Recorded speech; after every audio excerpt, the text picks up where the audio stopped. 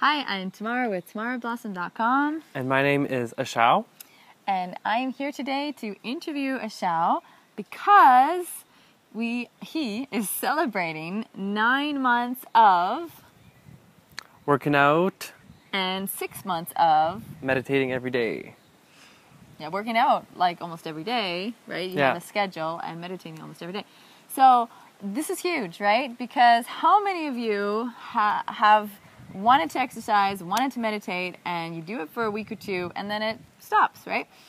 And um, I can relate with that in other things. Movement I've got down, thankfully, because I found something that works for me, and that's a, a separate video. But today I really want to focus on Ashao because he just celebrated um, literally that he's been going nonstop for nine months of working out nonstop and six months of meditating, not missing a single day.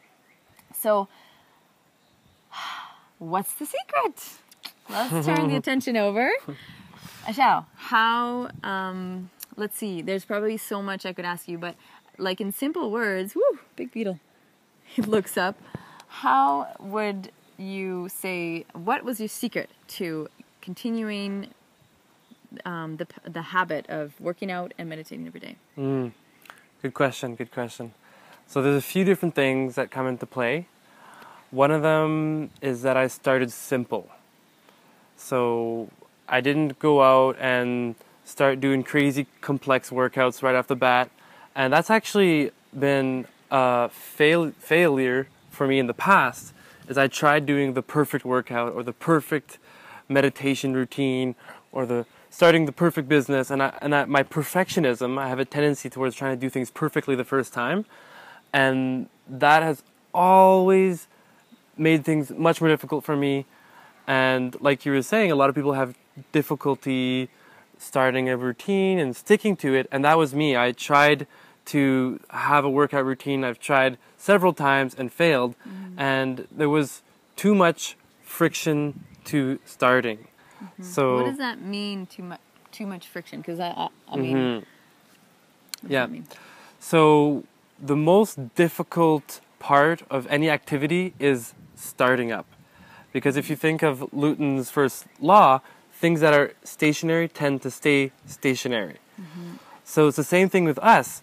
If I'm laying in bed and I'm and I'm supposed to get up and do a workout, I'm gonna tend to want to stay in bed. I'm not gonna want to go do something. Same thing if I want to do the dishes. I'm like probably gonna have to exert some initial energy to do the dishes. So reducing the friction to starting is making as many choices as possible in advance to reduce the first initial movement. So I'll give you an example of what I did with my workouts. So, like I said, I started simple. I just had, I started off working out and I just had five movements that I was doing. Mm-hmm. So, first of all, in my, in my brain already, it's, it's pretty simple. Maybe that's not simple for everyone, but whatever to you is simple, you want to start with that. And I also started off by laying down. So when I'm laying down in bed, I can just tell myself, all you have to do is get out of bed and lay down in the other room. So, So it makes it sound easy. yeah, it makes Like, it feel Oh, I don't have to go do jumping jacks. I'm Yeah. just gonna go lay down. Yeah, and so I, I also intentionally chose to do body weight movements so that I can do them at home. And I can do them anywhere. Like here in Costa Rica when we're traveling, I won't mess up my routine because I can do them anywhere and I don't need to go to a gym. So that's an, another barrier that I would need to hurdle over to start, right? And it's just another, I could just be like, oh, I don't want to go good and stuck in traffic today, right? So it's mm-hmm. one less thing to worry about.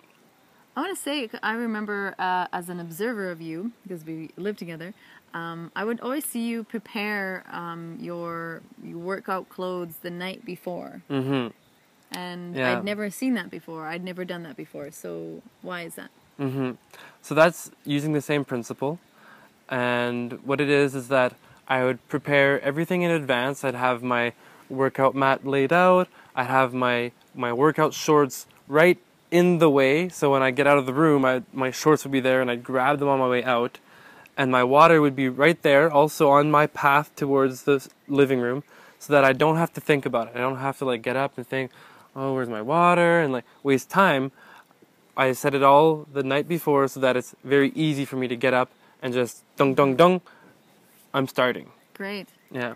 So this is super cool. So what can we tell people who want to uh, stick to a workout routine? Let's just focus on the workout right now, because you know once you get one routine down and you stick to it, I think then it's maybe easier to start another habit.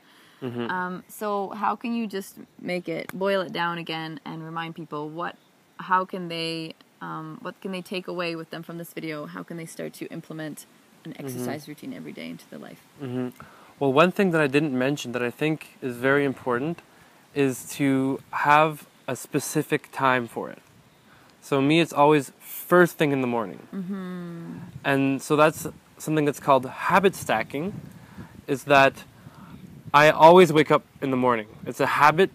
It's a habit that I have no choice, but it's a habit, and so as soon as that habit ends, then the next thing is I know I do my workout. But maybe it's for someone else. It's uh, after work, they're on their way home, they go and they stop at a gym. Mm-hmm. And if that feels easy to them, that it's, it's right on the way, then that would be perfect. It would be not too much friction, and it also has a set time. And you want to mm-hmm. stick to that time all the time mm-hmm. because that'll create the routine where you have a cue oh, I'm coming back from work, or oh, I woke up, or oh, I'm going to bed. And then you know, workout time. So you never miss a day because it's now popping up automatically. So number Yeah. one specific time specific time. Number two, prepare yourself in advance. So if you can, um, grab all your stuff. If you're doing it in the morning, put it all near your bed, uh, like your water bottle. Fill it up the night before.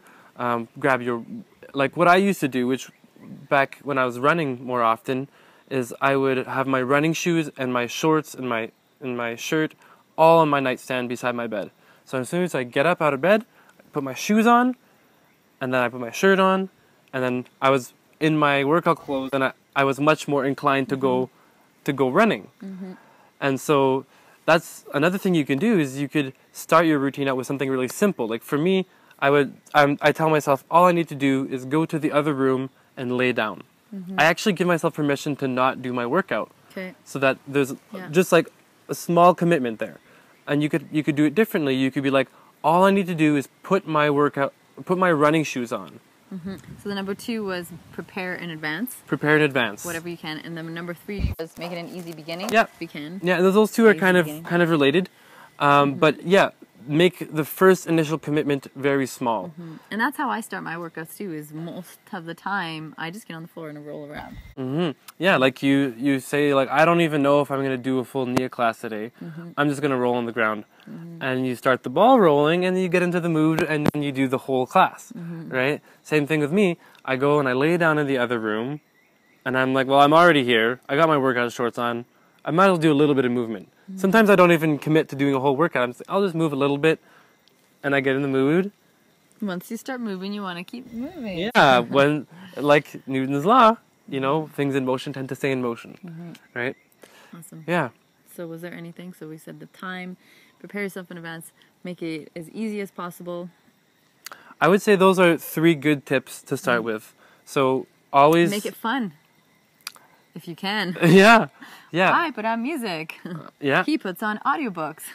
That's yeah, that's uh that's uh habit stacking, leveraging my time. Yeah. Listening to audiobooks while I work out. yeah. Yeah. So to recap those three steps, one, stack it on to another habit.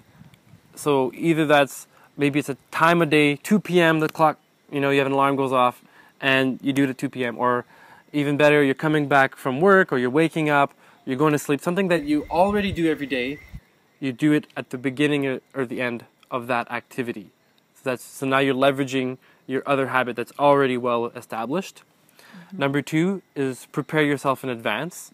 So if you can gather whatever you can prepare yourself, like if you're going to be doing a meditation, then maybe you want to set up your meditation space the night before.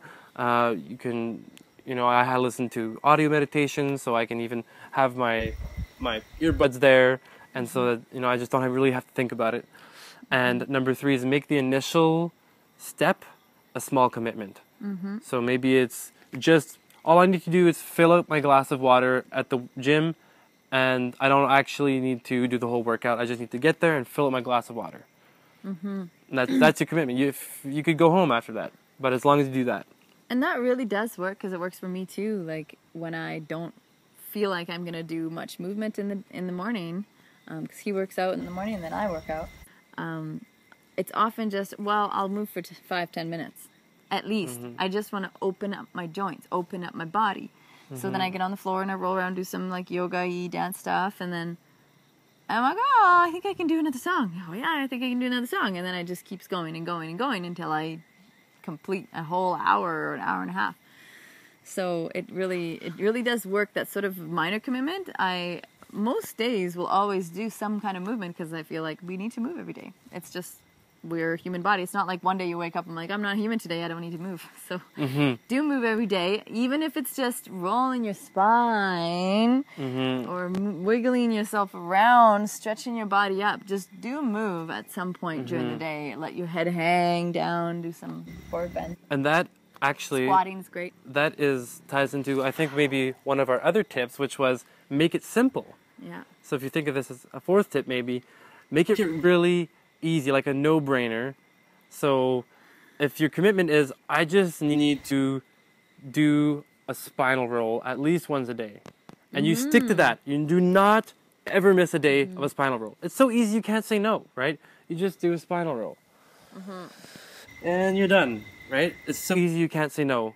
And if you stick to that, you're gonna have a habit now that you can later improve upon. Mm-hmm. And yeah, I'm gonna do a spinal roll and a exactly. squat. and and I cannot overemphasize how powerful that is to establish a simple habit, and then after some time, you're just naturally gonna want to do more. That's great. So I hope you got that from this video, and I would say that's one of the biggest takeaways is just start with one movement. If you've had such trouble sticking to movement and then you don't do anything, just do at least one movement. Like oh, like maybe it's the spinal roll, maybe it's the squat, maybe it's a uh, stretch back and forward bend and roll back up. Whatever it is, I'm gonna do something, and then see if you can just make it longer as you start. Okay, what else can I do now? Oh, maybe I'll sway my spine a little bit. Or maybe I'll put on a song and have a dance party.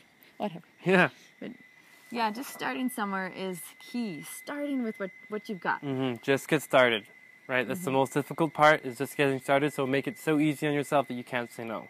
Ah, yes, awesome. Because movement is important, and I want us all to feel good and and vibrating with life force energy. So, thank you so much, Ashao, Yeah. for your input. You have so much knowledge and experience in implementing new habits into your life. It's been awesome watching you. Thanks.